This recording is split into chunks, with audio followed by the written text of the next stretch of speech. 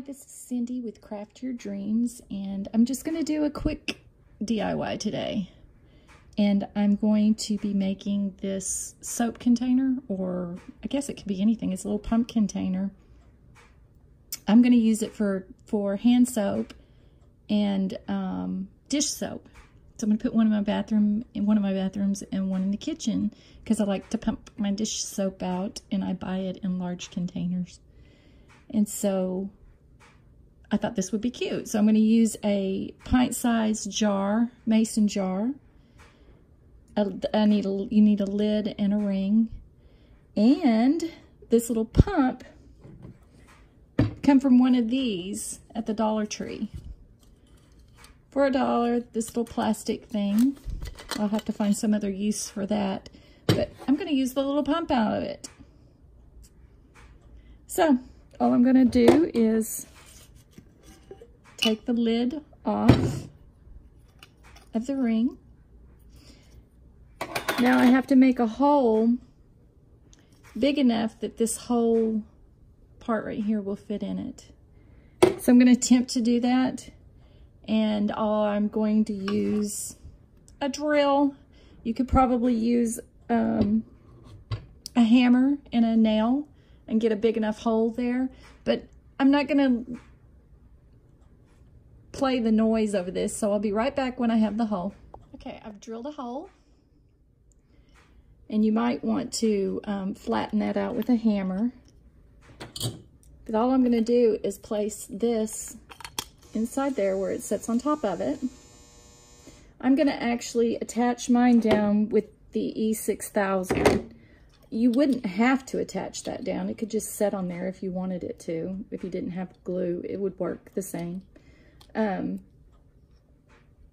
but you're going to need to measure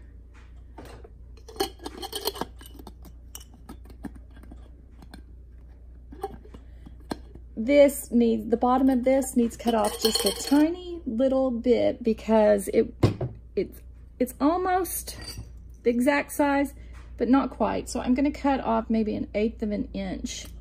I want it to reach the bottom, but I don't want it like raised up off the bottom. So I want this to be flat. I don't want it to actually touch the bottom.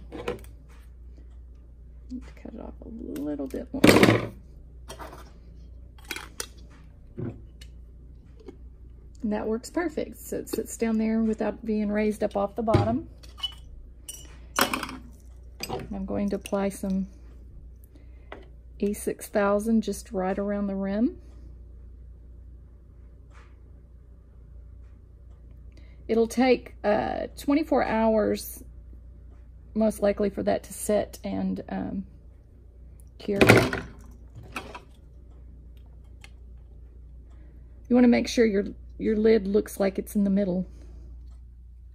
Like the pump thing. Yeah, I have black spray paint all over my hands. I couldn't get it off. You just want to place that. You can even glue that down if you like. So when you, un and I think that's what I'm going to do. So when you undo it, you wouldn't, it'll be on all one piece and not in separate pieces coming off. But you, you don't have to. You don't have to use any glue for this at all. If you don't wish to.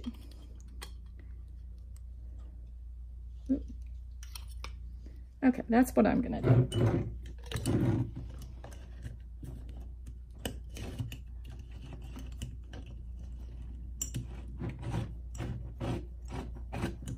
Why isn't that going down on the jar? Okay.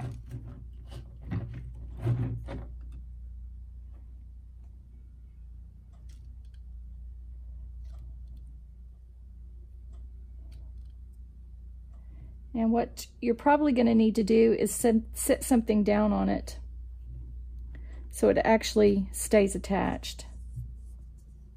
Or pour, put more glue than I did. Maybe I'll do that. Put a little more glue.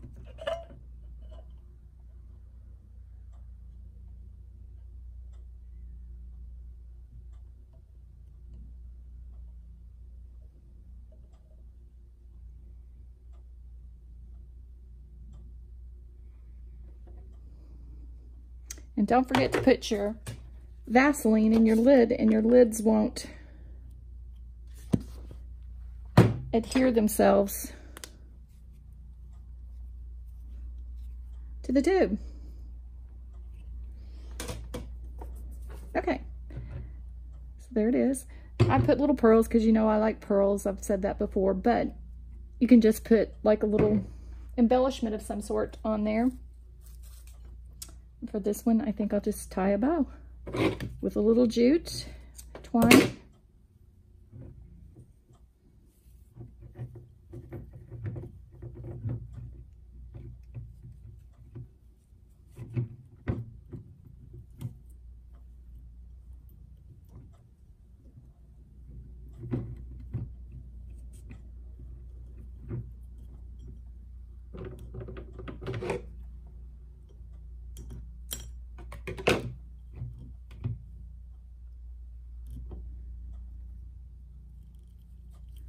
Can make your bow look a little bit better than I have mine looking.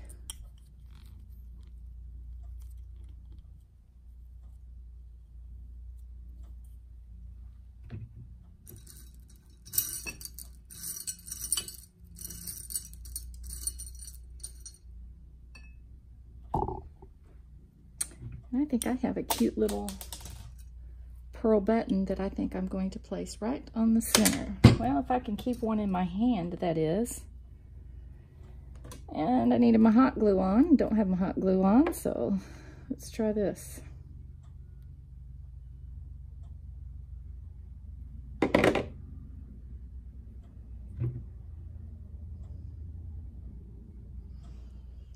So there. It is a little pump jar. Quick and easy. So that's the DIY of the day. You guys have a great day. And craft your dreams or someone else's. Be inspired by anybody. Bye.